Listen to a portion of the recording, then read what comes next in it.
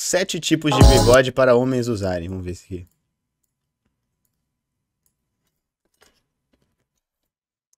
Eu vejo só os outros com a mulher nos braços fazendo assim. Ai, Quando a gente tá ai. falando de bigode, parece que a gente tá falando de uma coisa muito simples, né? Tipo, ah, bigode. Você tem bigode ou você não tem bigode. Mas existem diversos tipos de bigode. Um que esteve muito popular nos últimos tempos é O clássico bigodinho fininho. Já ouviu falar disso daí? Mano, bigodinho fininho não vira fazer, mano. Tipo, no dia seguinte já tá uma merda, tá ligado? Sei lá, dois dias depois já tá uma merda. Não, não vira, não vira. Bigodinho fininho, cabelinho na régua, olhei pra mim, ela olhou pra. O bigodinho fininho também é conhecido como bigodinho lápis. Ele é um bigode que ele era muito clássico na década de 30 e 40. Ó, o Zé Bonitinho. Bigodinho do Zé Bonitinho, né? Pô, podia chamar Zé Bonitinho esse estilo. tá na ascensão de Hollywood, das grandes estrelas de cinema. E ele teve um comeback agora. Come! Come jar! Pera aí, deixa eu abrir o chat aqui no navegador. Senão não vai aparecer os emotes pra mim. Os emotes poggers. Um retorno da barbearia clássica que a gente teve. Ele é um bigode um pouco mais Ó, Lucas Inutilismo? delicado, um pouquinho mais simples. E ele talvez não funcione com todos os tipos de rosto. Por quê? Ele funciona mais com rostos mais finos, rostos mais esguios. Eu tenho rosto fino, rapaziada? Não? Qual que é o formato do meu rosto? É.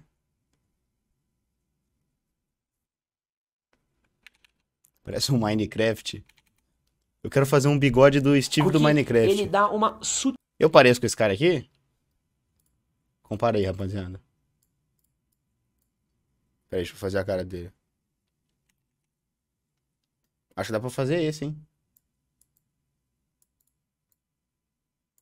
Sutileza aos detalhes ali que combinam, que harmonizam melhor com aquele tipo de rosto. Se você tem talvez o rosto muito redondo, ou a cara às vezes muito quadradona, e você faz um bigodinho fininho, fica uma coisa meio perdida ali no meio. Mas o bigode fininho, ele é uma coisa que eu acho muito classuda, assim. Eu, por exemplo, não sou muito bigodinho fininho, sabia? O, no- o meu bigode tem que ser um chevron, que é um bigode que a gente vai falar aqui na nossa Que- que lista. é Mas classuda? eu trouxe algumas inspirações muito legais de bigodinho Cadê o conteúdo? Calma aí, eu tenho que arrumar o bigode fininho pra você se inspirar e quem sabe adotar aí no seu dia a dia. Lá. Ó. Oh. Oh, yeah. Todos safados, tá? Pra deixar claro, todos esses caras são No vídeo safados. de hoje, eu separei uma lista aqui dos principais tipos de bigode que existem e quais rostos eles funcionam mais ou não. Pra quem não me conhece, meu nome é Edson Castro, eu sou jornalista e apresentador aqui do Manual do Homem Moderno. E aproveita que você está assistindo esse vídeo e já deixa aqui nos comentários pra mim uma sugestão de tema sobre barba, cabelo ou bigode que você gostaria de ver aqui no canal. Não, não vou fazer isso. Eu não vou fazer isso. Eu não vou cair no seu papinho. A única pessoa que manda em mim é uma mulher alta. De 1,85 pra cima. Próximo tipo de bigode é o bigode grosso. A gente falou do bigode fininho. Bigode grosso. Eu tenho, eu- tenho um certo bigode grosso. Vamos falar do bigode grosso. O bigode grosso, ele é aquele bigode Hum, não tenho, não tenho. Eu não tenho bigode nem fino nem grosso. Eu não tô nem pra lá nem pra cá. Eu não tô em nenhum dos times. bigode mais farto, ele não necessariamente cobre os lábios e ele desce aqui até a lateral do seu rosto sem nenhum tipo Ah, não. Tem que ser muito homem pra ter um bigode desse. Não tem como. de acabamento. Ele é um bigode um pouquinho mais proeminente, mas sem Isentão. muita firula. Como você vai ver que na lista tem alguns bigodes que eles precisam de acabamentos diferentes. Esse bigode ele não tem muito acabamento, ele é natural, porém ele ainda não passa da linha dos seus lábios, senão ele vira um outro tipo de bigode.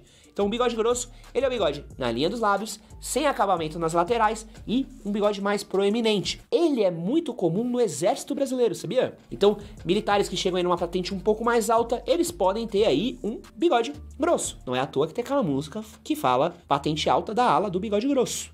É literalmente por Caralho, eu não sabia disso. Isso é verdade? Ou é fique? Você ganha um passe de um passe bigode quando você aumenta a patente no, no exército? exército bigode. Pode usar bigode no exército? É permitido aos oficiais, subtenentes e sargentos o uso de bigode, desde que discreto aparado. Aí, ó, é verdade. Patente alta pode usar bigode grosso. Poggers? Por causa disso, sabia? Animal, né? Animal?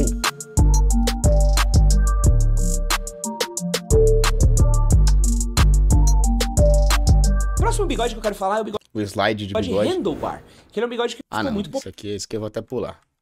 Desculpa aí quem tem esse bigode, rapaziada, mas lamento, viu? Lamento. Meus pêsames. Esse aqui não dá, né? Filme. Esse aqui não dá, né? Esse aqui não dá pra fazer. Esse aqui não tem como.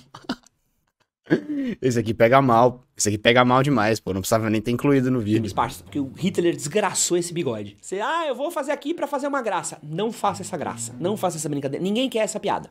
Não vai ser maneira, não vai ser legal, ninguém vai entender e você vai ficar saindo de nazista. Tá? Então, se você sair com esse bigode na rua, saiba que você tá apto aí a tomar um soco na cara. E se você quer tomar um soco na cara, tem outros jeitos melhores de você tomar um soco na cara. Bigode de Hitler não. O único lugar que o bigode de Hitler funciona é depilação de xereca, irmão. É o único lugar que as pessoas não precisam olhar. É meia dúzia de pessoas Que isso? que isso? Xereca nazista? que vai olhar dependendo da pessoa. Ou eu vim fazer uma xereca nazista hoje. Próximo bigode que existe aí é o bigode ferradura, que é uma loucura. Você sabe o que é um bigode Ah, não. Esse aqui tem que ser muito homem pra ter. de ferradura? Esse bigode ele ficou popularizado por um mano que chamava Hulk Hogan, que ele era um Tem que ser muito homem pra ter esse bigode aqui. famoso lutador de luta Leôncio. livre dos anos 90. E luta livre, aquela luta livre meio que tem encenação, que tem o WWE, WWF, que os caras fazem os papéis, uns personagens. Ele tinha um bigode que ele vinha aqui e ele descia pela lateral do rosto. Então ele Pô, mas isso aqui não é um bigode mais, né? Isso aqui já é parte da barba dele, né? Que rostinho lisinho que esse, que esse, que esse senhorzinho tem, hein? Esse cara é safado. Né? Eu não sou muito de fazer juízo de valor com as pessoas, tá ligado? Assim, olhar, julgar o cara pela capa, mas esse cabra aqui é safado. Vocês me desculpam. Vocês me desculpam, mas esse cabra aqui é safado. Ele era quase uma extensão do cavanhaque, só que sem a parte do queixo. Eu acho agressivaço esse bigode. Ele funciona muito bem em motoqueiro. Porque eu acho que às vezes se você tem a bochecha muito redonda, isso só destaca a sua bochecha. Então você precisa ter um Aí é foda, aí. Esse aqui tentou, tentou ficar machão, ficou todo bonitinho, ó. Que um gracinha. rosto mais reto, mais quadradão. Isso ainda dá uma alongada gigante na sua Ficou cara, fofinho. tipo de bigode. Então, é, é um bigode que Imagina, imagina, alongada gigante. Então você imagina, esse aqui é o seu pai alcoólatra que te bate. Não dá nem pra levar a sério, tá ligado? Não dá nem pra levar a sério. Um cara desse te batendo, de soco. Você dá risada, tá ligado? Você nem chora, você dá risada. precisa ter um rosto mais reto, mais quadradão. Isso ainda dá uma alongada gigante na sua cara, esse tipo de bigode. Então, é, é um bigode que ele é, é, Olha, esse aqui é um macho peludo, hein? Jesus é, Christ. é um passo pra dar merda. Assim, é pra, pra acabar com a sua cara e não funcionar é horrível. É, esse aqui é bem arriscado mesmo, esse bigode. Tem que ser muito daddy pra usar um bigode desse. Primeiro, já é um bigode que não se usa com 1,70m de altura. Não cabe. Não cabe a hominhos de 1,70m usar esse bigode. Não, não cabe. Tem o bigode rabo de macaco também, que é outro que não. Rabo de macaco. Já viu qual que é? Que é um que faz assim? Não, nunca. Nem, nem tem foto, que é pra você nem, nem fazer essa merda. Tem um Eu quero ver, pô. Eu quero ver. Bigode e rabo de macaco. Nossa. Nossa. Ah, mas é diferentão, tá ligado? Tipo, se você quer ser diferente. Se você quer ser diferente, ó. Aí, ó. Rabo de macaco. Isso aqui parece um bigode que o Defante faria. De zoas. Uma que é uma opção muito estilosa, que é o Beard Stash, que eu chamo de Bigobarba. Se você reparar na nossa lista, eu não peguei nenhum estilo que tenha barba envolvida, porque às vezes você tem uma barba muito grande, um bigode muito grande, eu acho que é meio que roubar. Eu boto isso mais em estilos de Roubar. tá chitando? Tá chitando no bigodismo. barba. Mas o Beard Stash é quando você tem um Eu vou bigodar, hein? Eu vou bigodar, hein? bigode, mano. Pera, o vídeo chama 70 tipos de bigode? 70? Ele só falou uns 5.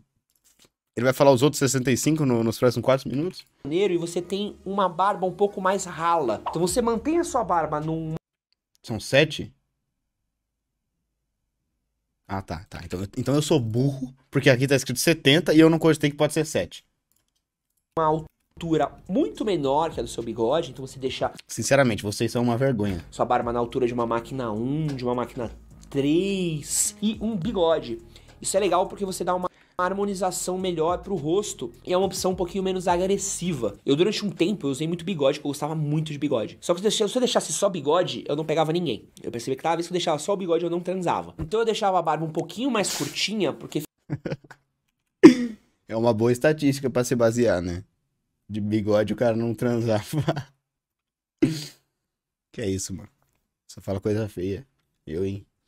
Eu, hein? Pô, tô até meio, tô até meio tonto ficava menos. Por isso que você é virgem, pisca. Aí, ó. Então é isso. Então é isso. Eu. Talvez esteja. Talvez esteja tudo respondido aí, ó. Agressivo. Por isso que você não sabe o que é clitóris. Porra, mano, os caras se acham, tá ligado? Os caras não sabem passar uma informação sem ofender, mano. E aí, você sabe o que é clitóris, mano? Tem a humildade de explicar, tá ligado? Tem a humildade de chegar aqui e explicar fica se achando aí, mano. Ah, eu, eu sou o cara, só porque eu sei o que é clitóris. E aí, mano, eu não sei, mano. Explica com humildade o bagulho. o meu bigode e eu podia ter um bigodão e a barba numa altura um pouco menor, mais agradável. E aí minha vida sexual se manteve inteira. Ah, não, mas. Ó as fotos que os caras usam, né? Ó, só shed. Só usa shed de foto. Só usa Omega. Omega Shed Alpha. Giga. Deres. Outro bigode que eu acho iradaço é o bigode chamado de Chevron. E ele foi um bigode muito popularizado pelo Tom Selleck e pelo Fred Mercury nos anos 80 e nos anos 90. Lembra que eu falei que o bigode grosso é aquele bigode que ele para na altura dos lábios, ele não tem acabamento na lateral? O bigode Chevron, ele Onde tem acabamento nas laterais. Então não é só você deixar ele crescer naturalmente, é você fazer um acabamento quase que na diagonal